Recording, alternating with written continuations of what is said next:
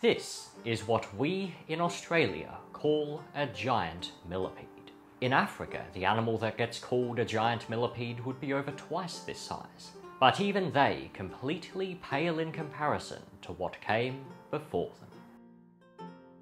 For this video, we are returning to the Paleozoic era, this time to focus on the Carboniferous period. In previous videos, the animals we looked at hailed from the Cambrian and Ordovician periods, when life was predominantly, if not exclusively, restricted to the waters. But by the Carboniferous, which began a little under 360 million years ago, life had well and truly laid claim to dry land as well. The arthropods were the pioneers of the animal kingdom's conquest of this new frontier and their hard exoskeletons and jointed limbs, which provide them with structural support underwater, were easily capable of doing the same job on land. Among the first arthropods to have walked the earth were a group whose modern representatives are one of the more familiar faces on this channel, the myriapods. Out of the four major myriapod clades alive today, the most speciose are the diplopods, commonly known as millipedes. The millipedes have a long history in the fossil record. One of the oldest animals known to have possessed clear adaptations for life on land, Pneumodesmus newmani, was a millipede. Some other early millipedes had extraordinarily elaborate armour, and even toward the dawn of their immensely long history, they were already beginning to approach the size of the largest millipedes alive today. But it was during the Carboniferous that these multi-legged marvels would reach their peak, at least as far as size was concerned. For it was this period that saw the evolution of the uncontested titan of the millipedes, Arthropleura armata. Measuring over two and a half meters long, Arthropleura was the largest animal on land for much of its existence, and holds the additional title of being the biggest terrestrial arthropod known to have ever walked the Earth. It lived throughout most of the Carboniferous period, and even persisted into the early Permian, the final period of the Paleozoic. And much to the surprise of absolutely no one, it's also one of my favourite prehistoric animals. Arthropleura's tenure in the public eye commenced in Germany in the early 1850s, with the discovery of several fossilised tergites, which are the armour plates that cover the upper surface of an arthropod's body segments. However, the jumbled, disarticulated state of the fossil made it difficult to paint a clear picture of what the animal would have looked like, and thus there was no immediate consensus on what Arthropleura actually was. I mean, it was clear that it was an arthropod of some sort, but anyone who knows how diverse of a group arthropods are should be well aware of just how little that narrows things down. Some proposed that Arthropleura was a crustacean, or perhaps a relative of the trilobites.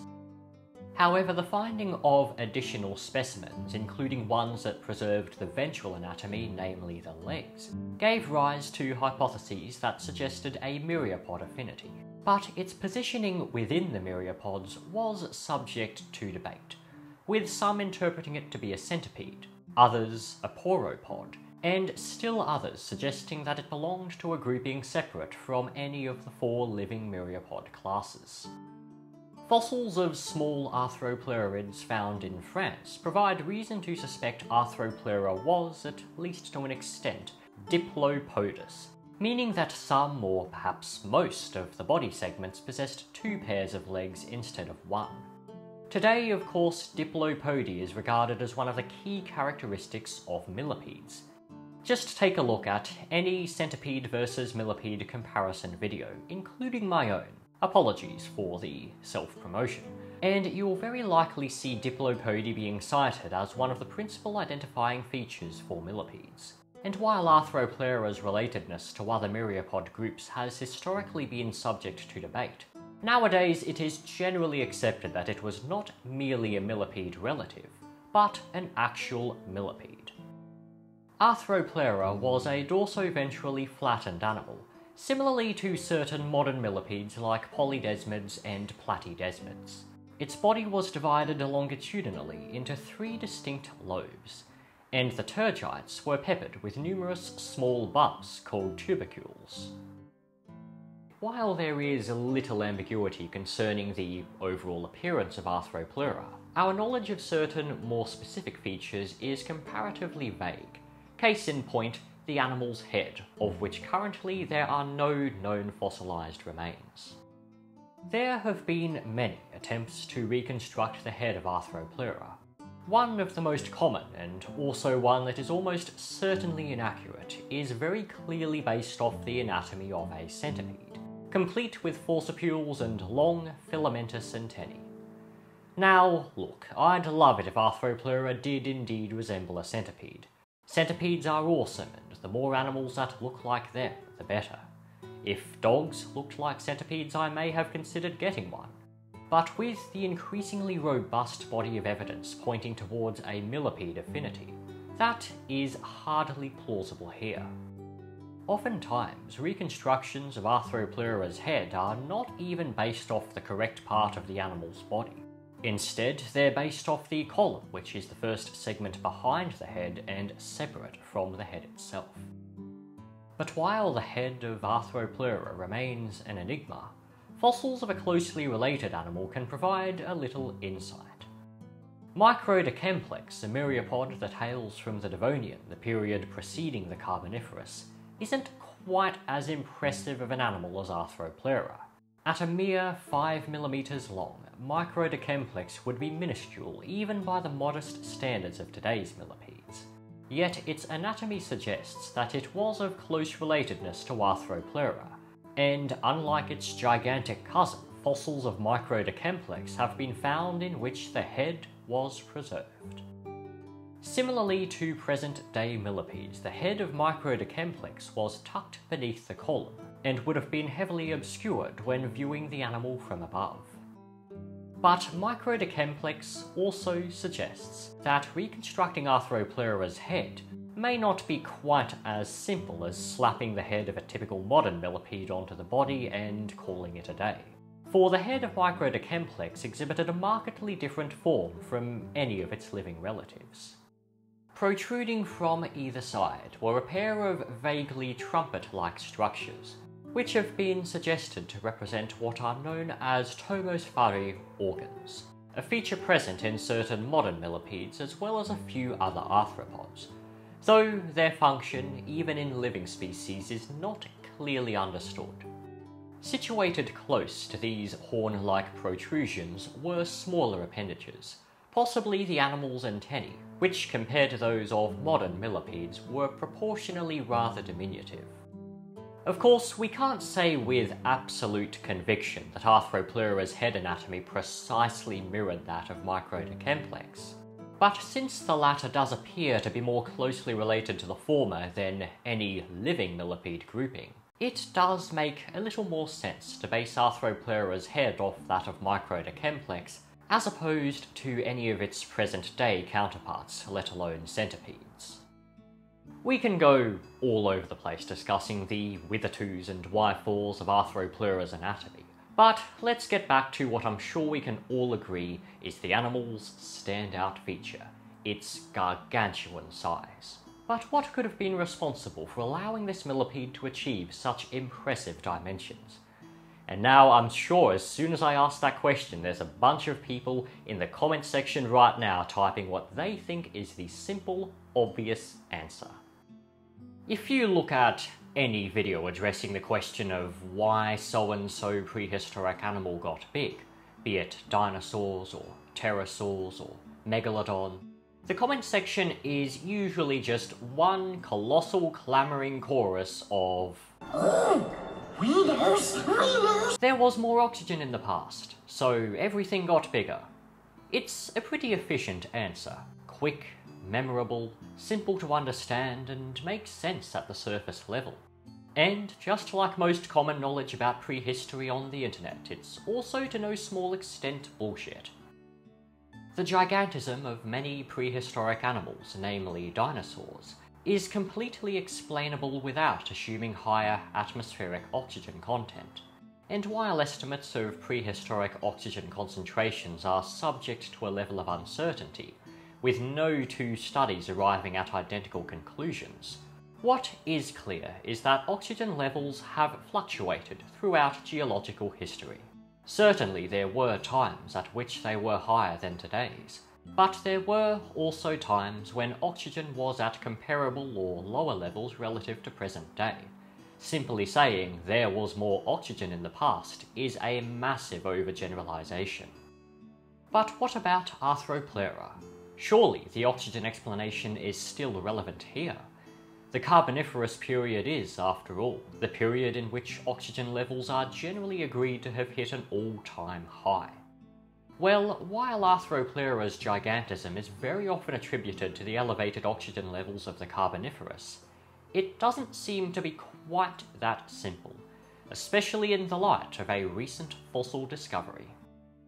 In England's Stainmore Formation, the partial remains of an Arthropleura were found, that, when scaled to the body proportions known from examining more complete fossils, represented the largest individual of the species uncovered thus far.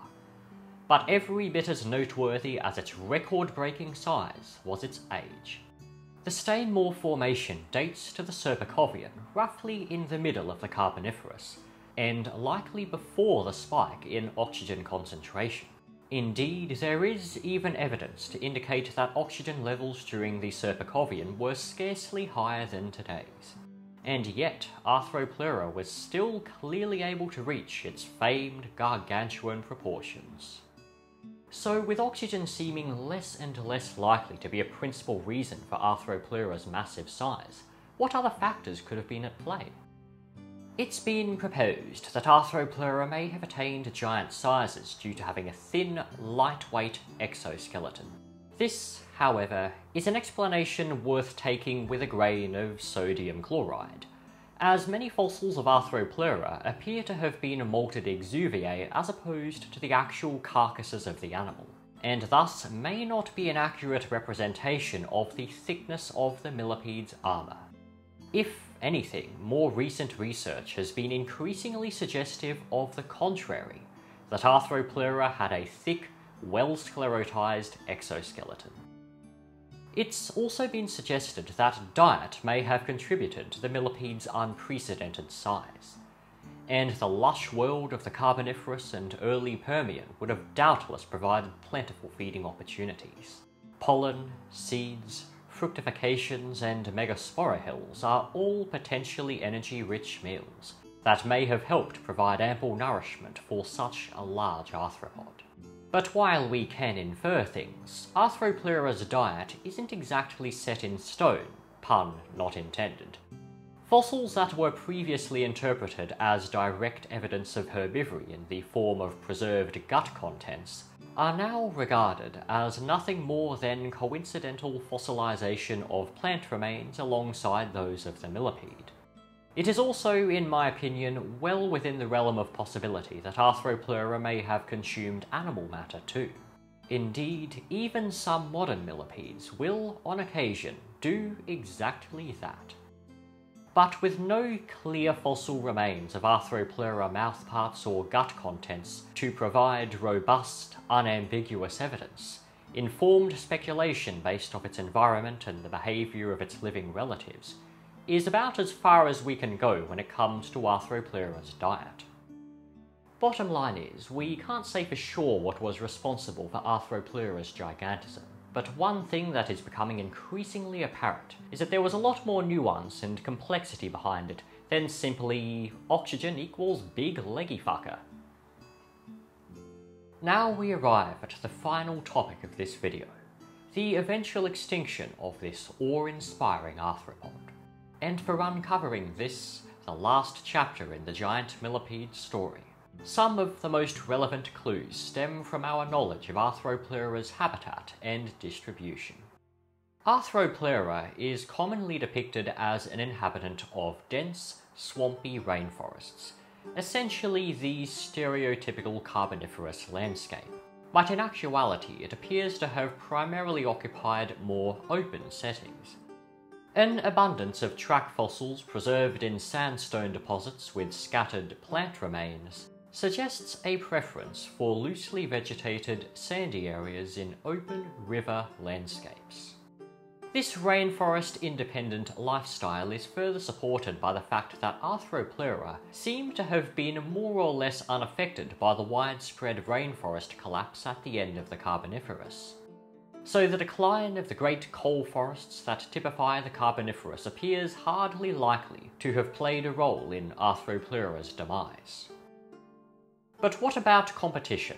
Well, towards the later part of its tenure, Arthropleura coexisted with large, terrestrially adapted amphibians like Eryopids, as well as pelycosaurs, which were early relatives of mammals. But Arthropleura had been living alongside such competitors for millions of years without showing any obvious signs of decline. So that doesn't quite come across as a major driver of its disappearance either. It seems much more likely that the catalyst of its extinction was something far greater than merely the advent of some new competitors.